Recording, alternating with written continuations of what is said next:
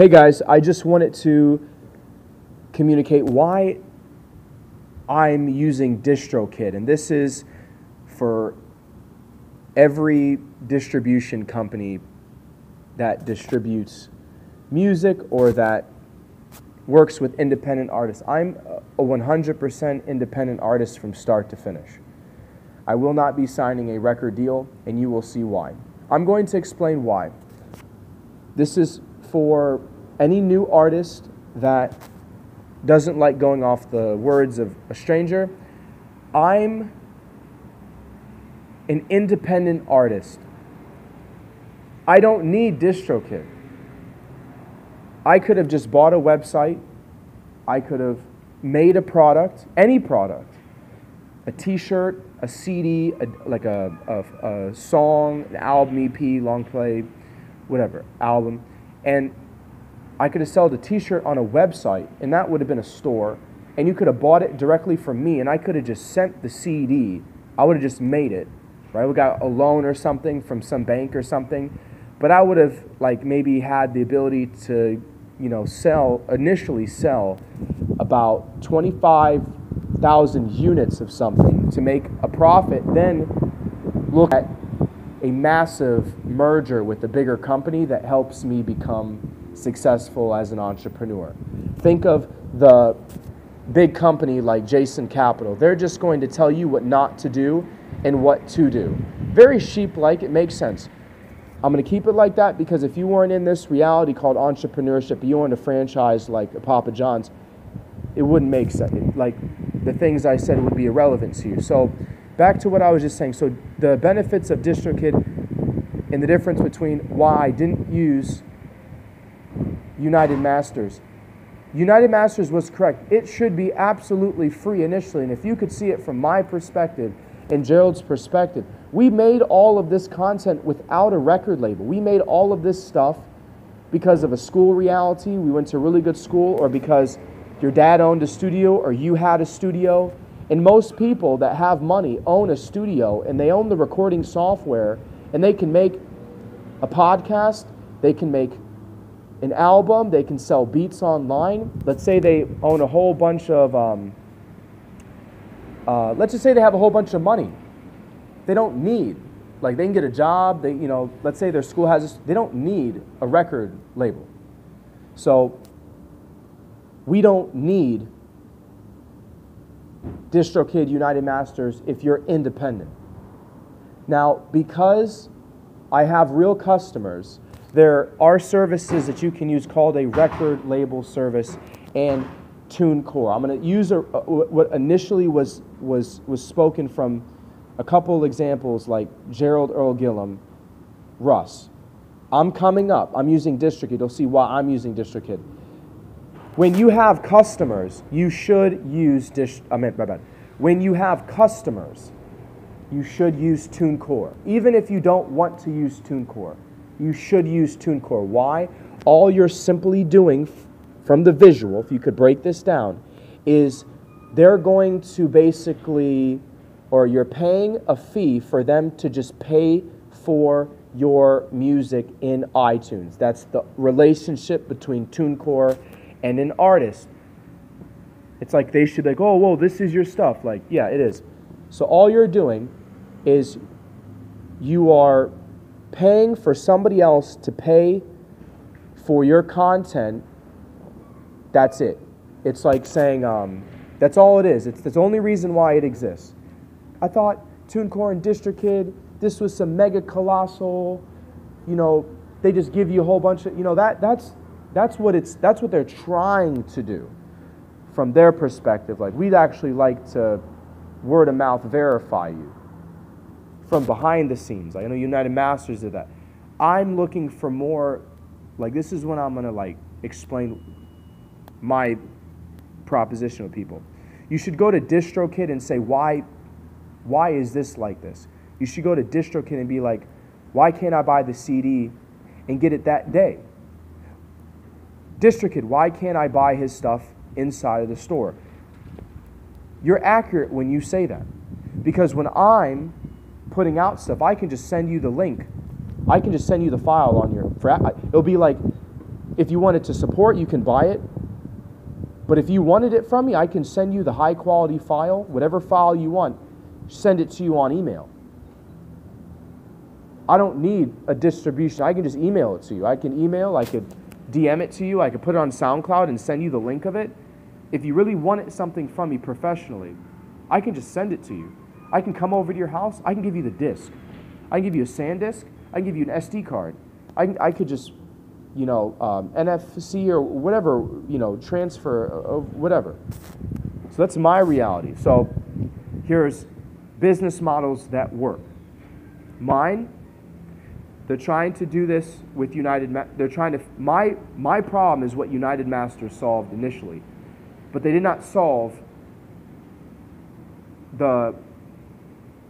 If they just don't like this company because of the people behind the scenes, it affects it. So, long story short, you have three different realities that I believe are completely different for an independent artist.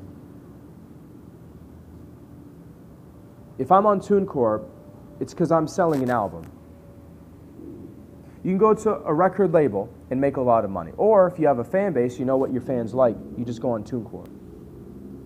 Does that make sense? It's like they'll tell you what to make that'll make money, whatever you could have made. You could have just said, ah, you know what, instead of dropping this with a record label, I like to drop this on TuneCore. Now, what do you do on TuneCore? Well, first you have to prepare yourself for kind of like a depression meaning it just spreads everywhere and you have to kind of like be nice dressed, all this stuff, you know. But let's say your first album, it's called Love. Okay, so your first album, your 20 song album you dropped on TuneCore, you get the link for iTunes. That's all that is. It's just a link to iTunes.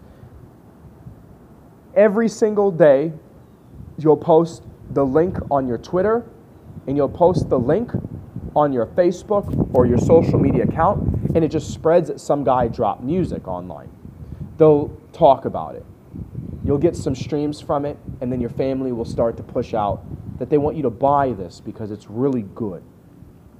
Then you have realities like United Masters, which solve, I would say, like people who like aren't like me and Gerald or Russ who don't have massive visions of being this mega colossal business online.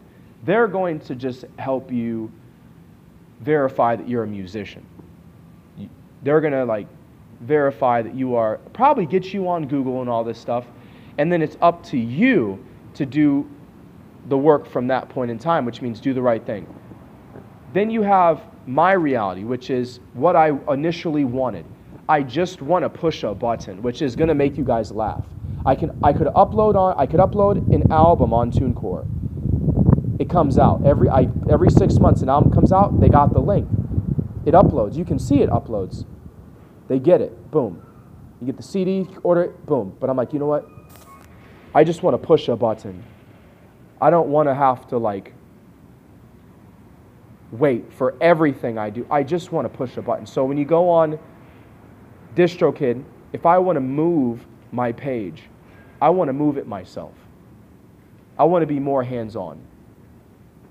If I want to upload something and take it down, I want to take it down and I want to see it taken down. Or when I upload something, I want to see it uploaded.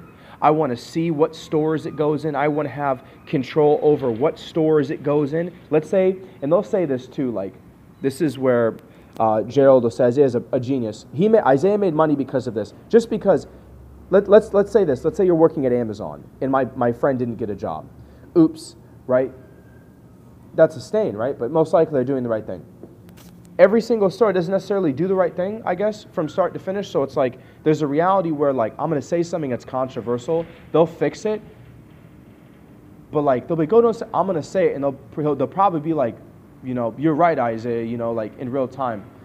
It's like saying if you didn't necessarily agree with Tidal's vision, so you just don't want to have Tidal's vision or your music in Title. What do you mean? You just don't agree with it. What do you mean? It could be something like you believe that something should have just been free. So you just don't want to have it in there. Right? And I actually say this as something against like Jay Z or anything, but I just don't agree with some stuff you know, some stuff. But it is what it is. And that's a nice way of saying I just I just don't agree with it. You know, I just I just don't. You know, but I know everyone's going through their problems. Uh, let me see, 10 minutes. Yeah. So when it comes to like taking stuff out and all this stuff, you know what I mean? I want to be hands on with that stuff if I have to. That's why I like DistroKid.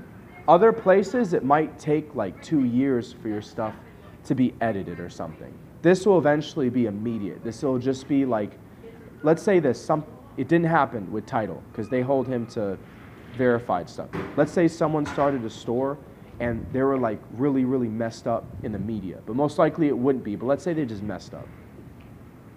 Oh, crap. You know, you could like pull out your thing from the store until they fix it, and then you could just re upload it to the store. Do you know what I'm trying to say? So, like, if there's like some funky stuff in the store, let's say it's narration problems, like, I could just like pull this off of there, and then I would just say it's already in Amazon. Just go to Amazon. It's already in Pan- or Pandora. It's already in Pandora. Pandora. Or if you wanted to come to me, I'll just send it to you. But if there's funky stuff in the store, I want to be hands on. If that makes sense. So it's just like the way I see DistroKid, you could make an edit. You could take something down, re-upload it. That was your decision. You could change the title of something. That was your decision, like the font of something. You could vault something and it's safe and it's still copyrighted, which means you could just upload something. Like you could upload all your music and it's still vaulted. It can't there can't be another metadata uploaded via this this thing. So there's a whole bunch of cool things. And um what else?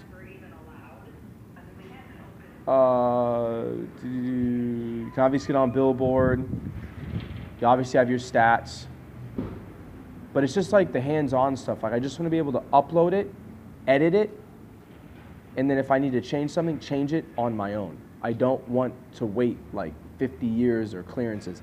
I just, it's just like if I just went in, if this, if DistroKid was like a Taco Bell, I don't have to deal with the person behind. I know what, I know what I'm doing. Like I have a school and every, I know what I'm doing, right? I'm, I just want to go in there, put my order in or order it, because if people are ordering it, it's like this.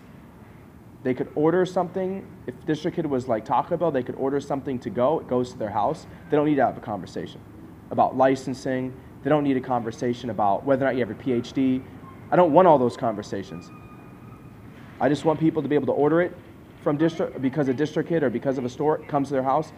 I want to be able to like go into this application, not say anything every single time, like in a McDonald's, go to the kiosk, put my card in, doesn't matter what card, the card goes in, it comes out, I don't even have to look at them, I get it, walk out, I have a great life. That's what DistroKid is with me.